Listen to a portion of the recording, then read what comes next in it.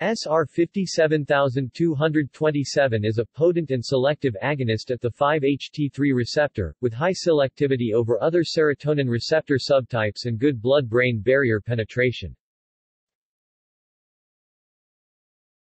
References